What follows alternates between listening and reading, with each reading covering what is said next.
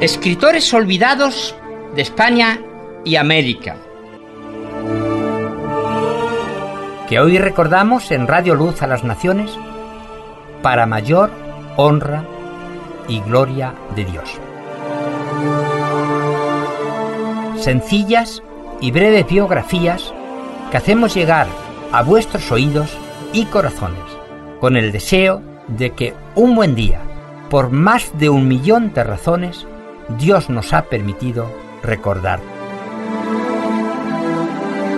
Forman parte de la historia de hombres y mujeres olvidados que sus ideas y fe compartieron.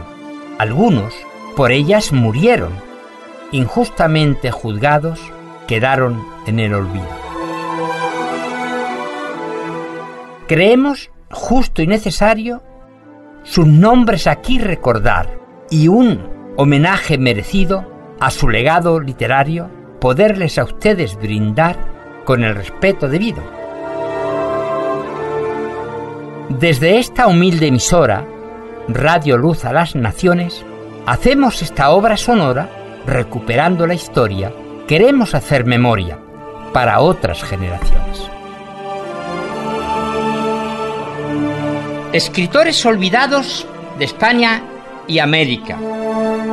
Por Gabino Fernández Campos, escritor e historiador, director del Centro de Estudios para la Reforma y coordinador de Ágape.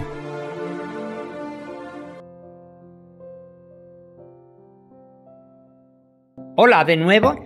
Seguimos con la vida y obra de Isabel Loren, una misionera inglesa que laboró para la gloria de Dios y la proclamación de la buena noticia en España.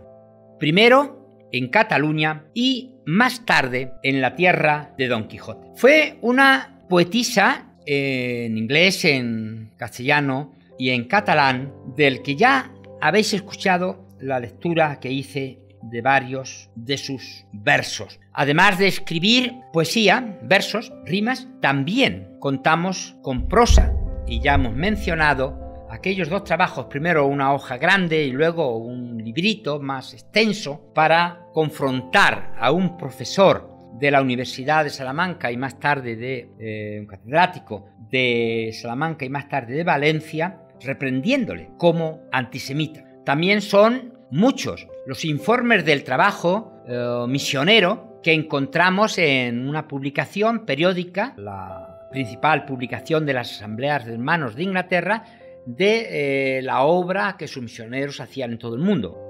Nosotros vamos a insistir, porque es lo que más fácil es de encontrar y lo que más se ha reproducido, vamos a seguir hablando de sus poesías que en las iglesias de América y de España, y especialmente en España y en las asambleas de hermanos, se cantan. Los himnarios primeros que recogen estas creaciones literarias son un pequeño himnario que edita e imprime su propio padre en Barcelona. Esto en el siglo XIX. Eh, en el siglo XX van a pasar a formar parte de un himnario publicado en catalán en 1923 que va a ser recuperado, poesías en catalán, las de Elizabeth y de otros poetas, en el himnario Cantos de Gloria Ignaria Evangélica de la Institución Bíblica Evangélica de Cataluña, con un éxito y,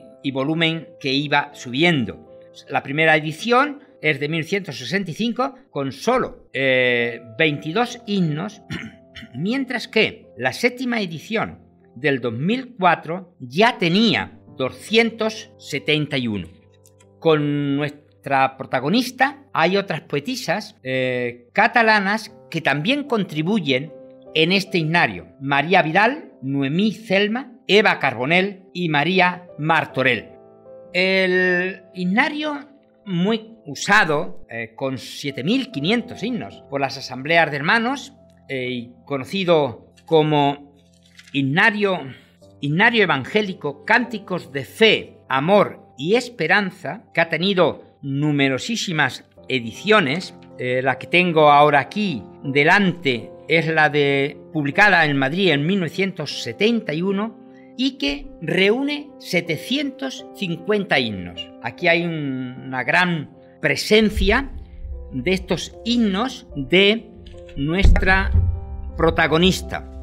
Eh, yo voy a leeros algunos de las primeras estrofas y la primera línea. Y hay que decir que además de esos dos que ya conocemos, uno animando al pecador, al hombre, a acercarse a Dios, el otro del que leímos, como en el caso anterior, una primera estrofa, su primera estrofa, y también otras creaciones poéticas para animar al creyente a alabar a su Señor. Y concretamente, este himnario de 750 himnos se abre con un poema de, en versión castellana de Isabel Loren. Muchas veces en mi vida espiritual, vivida cerca de Cristo y de su iglesia, pues el culto dominical ha sido abierto entonando este himno, si me permitís ahora, que voy a leer completo.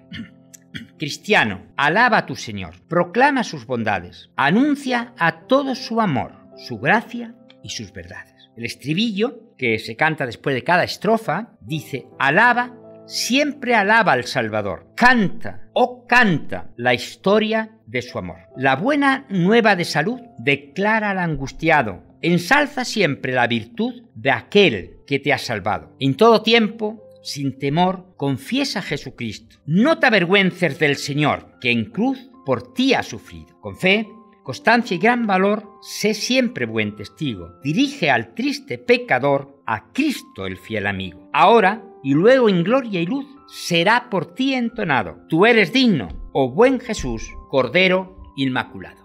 Un misionero inglés, Pablo Wickham, que lleva ya más de medio siglo aquí entre nosotros, primero en Cataluña, luego en, en Madrid y ahora en Valencia, que también es músico, ha hecho una edición con las partituras en dos grandes volúmenes, tamaño folio, utilísimo para los organistas o pianistas que nos acompañan el canto en nuestros cultos, y ha incorporado dos poesías o dos de estos himnarios en, en ellos.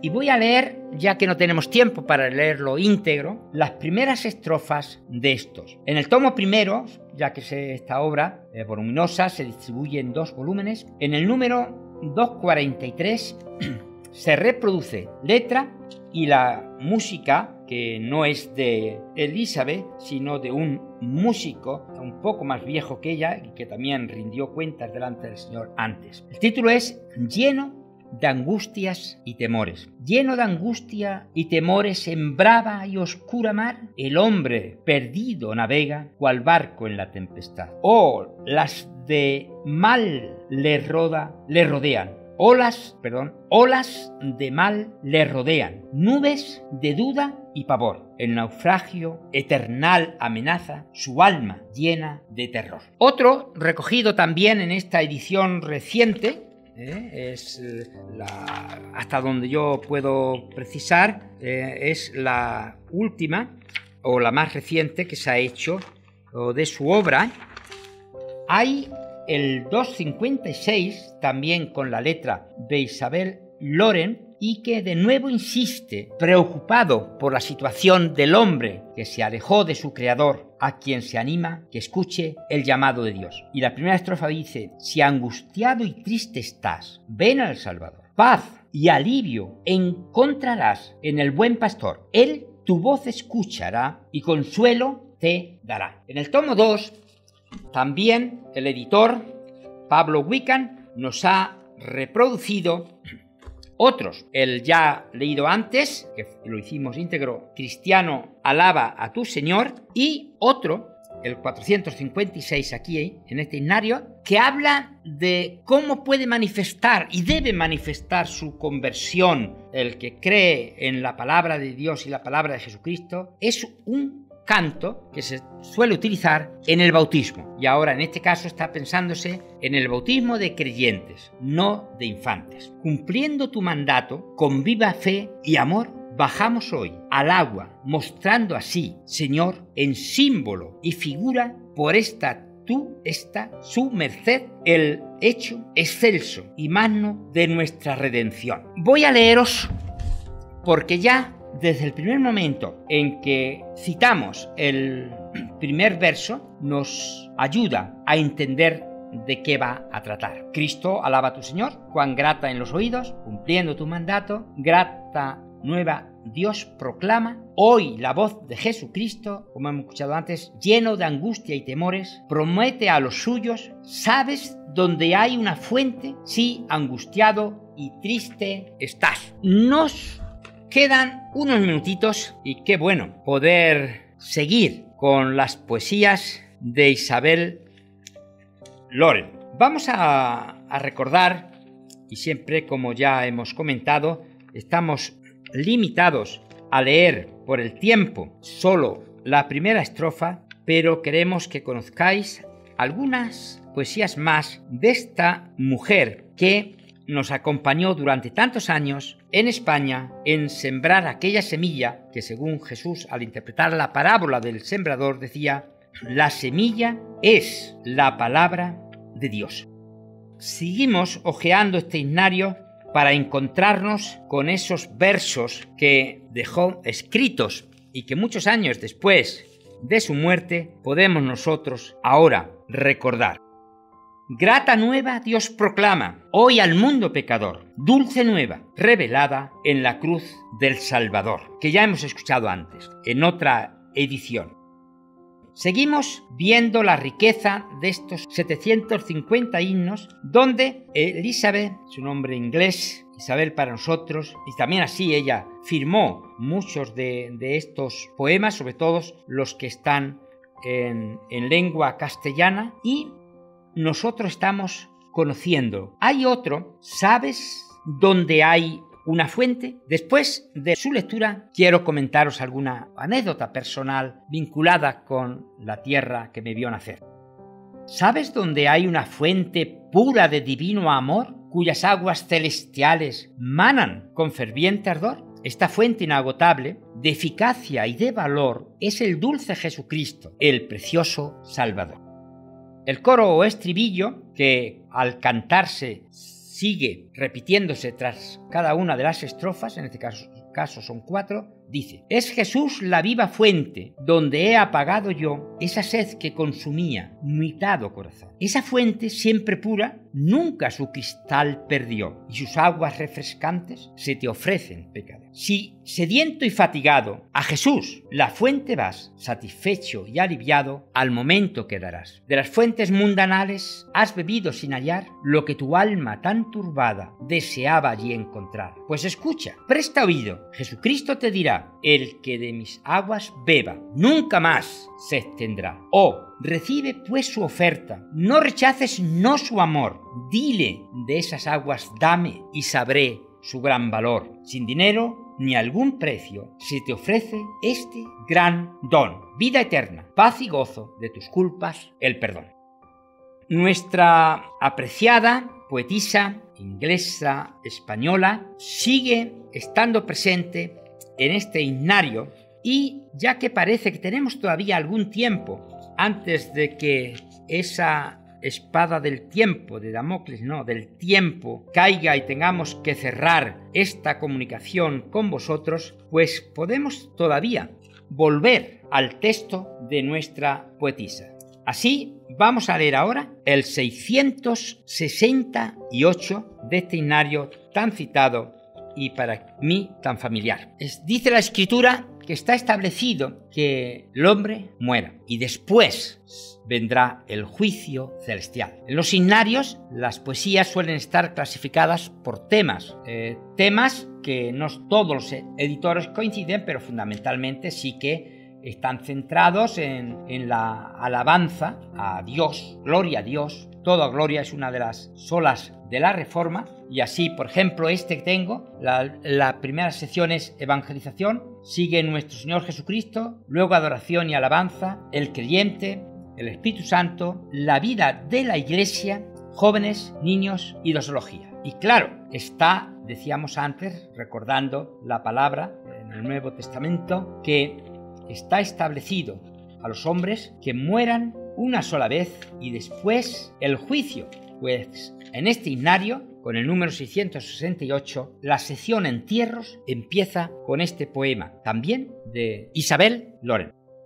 Con profundo dolor el sepulcro miramos y de espanto nos llena el haber de morir, que la tumba es el lecho, de paz olvidamos y la muerte el principio de eterno vivir. ¿Qué es la vida mortal que en la tierra vivimos, sino efímera sombra que pasa fugaz? ¿Qué dulzura, qué dicha en el mundo sentimos, sino dicha de nombre, dulzura falaz? Oh, principio inmortal, rompe, rompe gozoso la casita prisiona, terrena mansión, y a los cielos levanta tu vuelo glorioso a vivir de los santos en plácida unión. Allí espera Jesús, que alcanzó la victoria, y las puertas abrió de la patria eternal. De su mano tendrás la corona de gloria, y con él vivirás una vida inmortal. Escritores españoles olvidados, que hoy recordamos en Radio Luz a las Naciones para mayor honra y gloria de Dios.